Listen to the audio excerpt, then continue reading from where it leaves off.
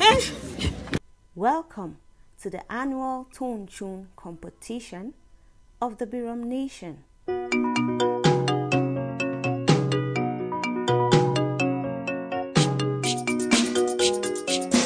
Our children today have forgotten totally about our traditional type of dishes and so we want to remind them this time around that we have our own peculiar type of food.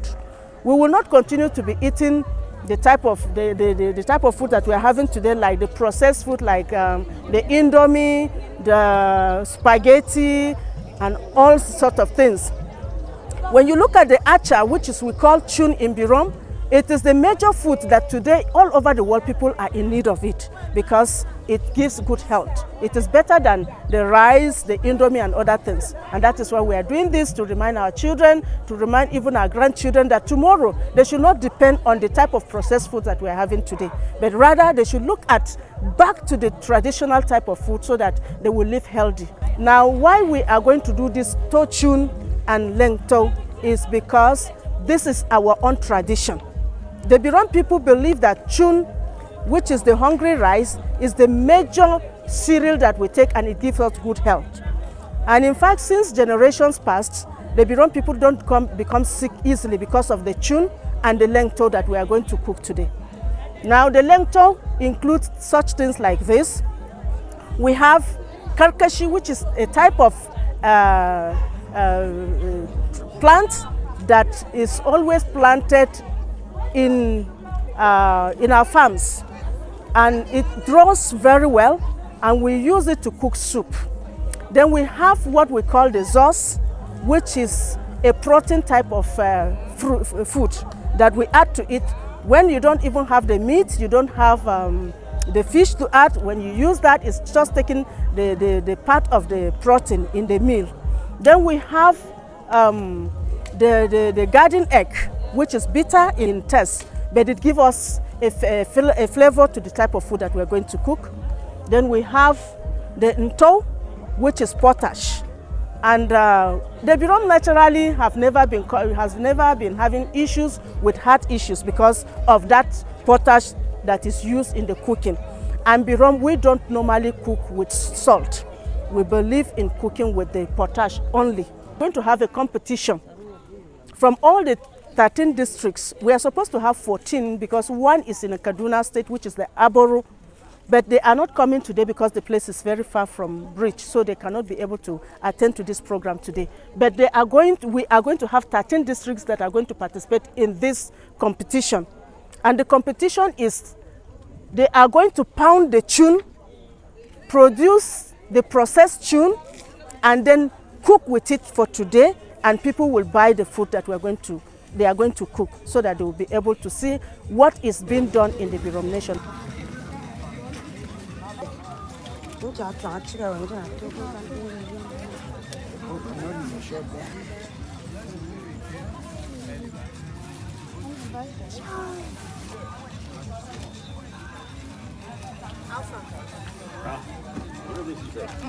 All right, so these are the pots they are going to be using to cook the tukchun. That's after pounding the the acha. After pounding the chun, they're going to be using these pots. They've set them already, ready for for cooking the tuk. As you can see, the pots they're using are not ordinary pots. They are clay pots, and these pots are very strong. Our forefathers then used clay pots to cook so that's what they're going to be using today. And the bigger ones, I'm sure, are the ones that they will use to cook the tuk, while the smaller ones, they will cook the liangto in them.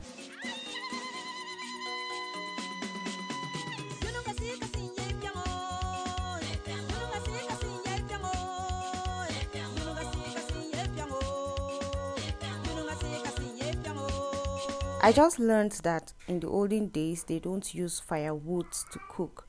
They use these dry grasses and uh, sticks from maize or millet to cook. So let's see how this acha will be transformed from this to this.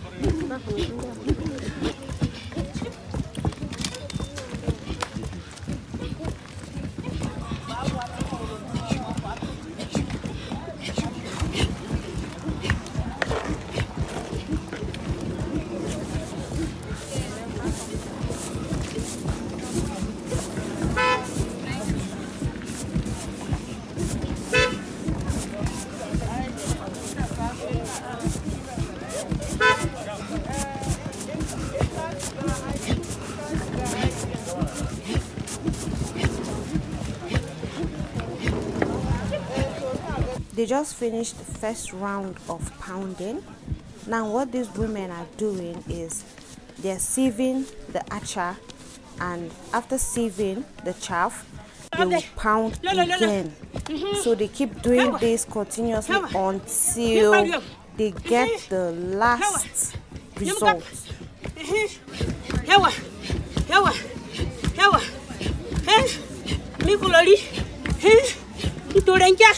嘿嘿看我看我看我看我嘿嘿我嘿嘿看我嘿嘿看我看我嗯这个他违背了遗嘱吧。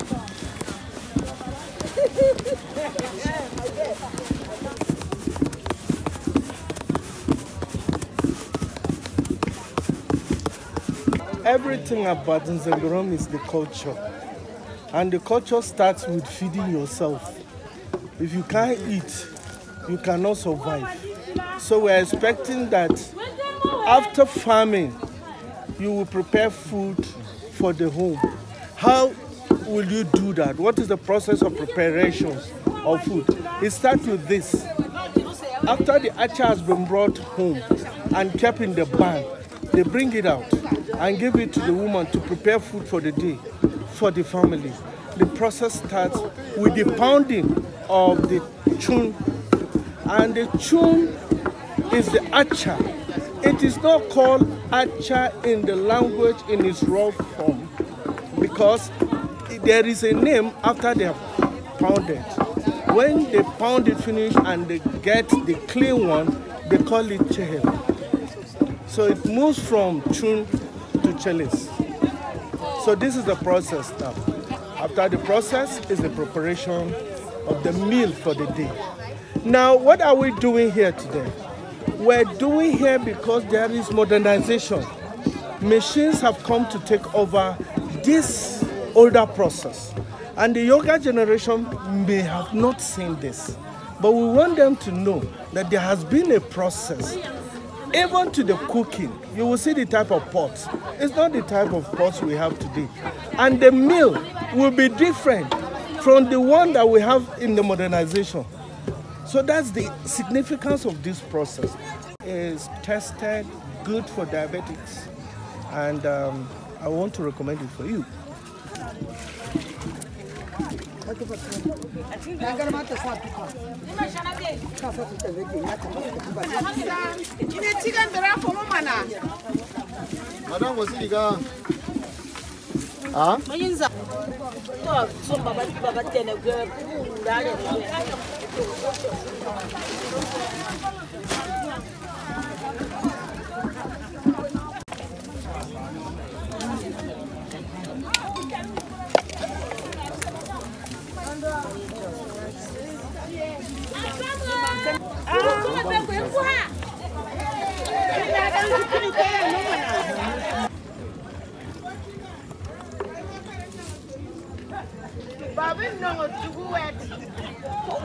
Kuwa yang tina show vile tu.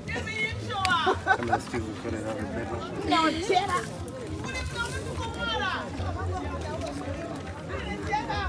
Vile che.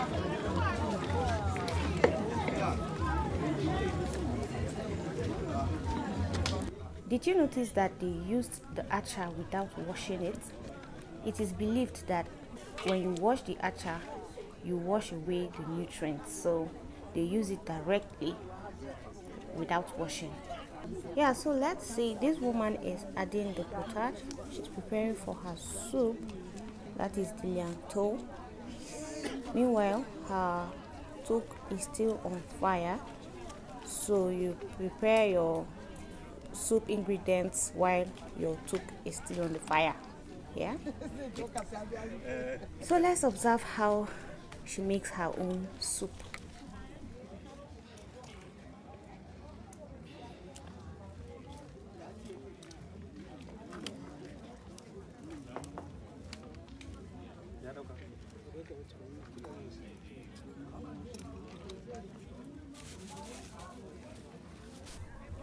Her tuk is almost ready. You guys should just look at the texture of this tuk. It's so strong. Wow.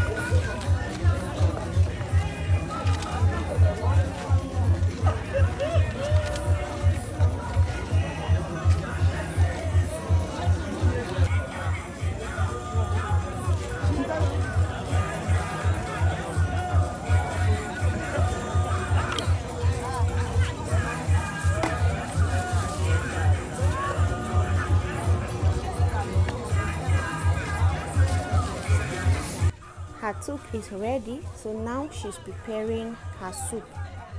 And this black thing you all are seeing is is called nzos. Now this is our local maggi. And obviously this soup you don't apply maggi you don't add salt to it. So this nzos give you all the scent and all the you know sweetness you need. Yeah so let's watch how she will make this beautiful soup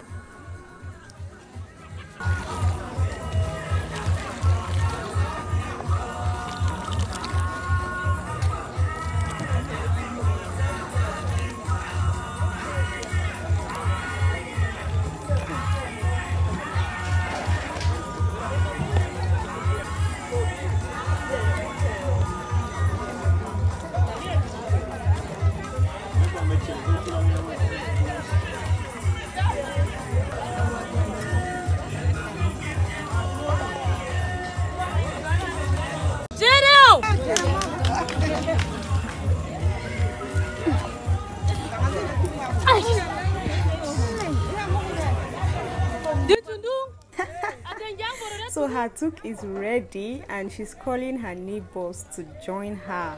You know, Berom people we love sharing. mm? Sharing is caring. So yeah.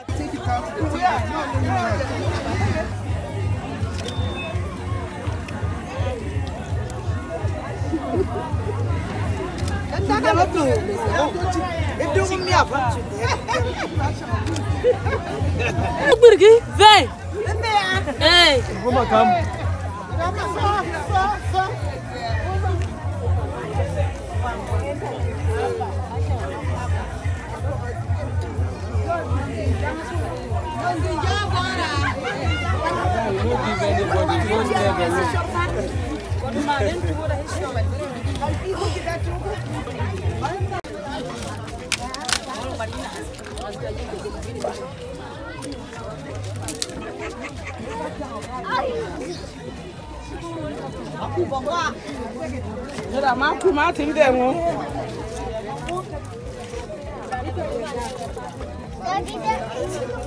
District is Bachi with 176.5 marks.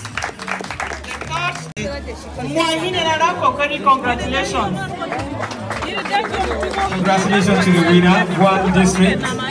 Um, So the dishes were opened and sold to the guests that came around for the program. And yeah, of course, I'm happy the winner is from Wang, my village. and of course, is there any Berom program you would go to without Tere? If there's no Tere there, then the program isn't complete. So yeah, this is me enjoying my Tere and this is the original Berom tere no salt no maggi no nothing just natural ingredients.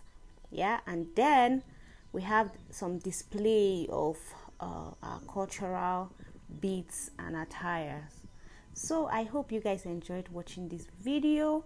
Please do give it a huge thumbs up share and subscribe to my youtube channel. Thanks for watching and Bye.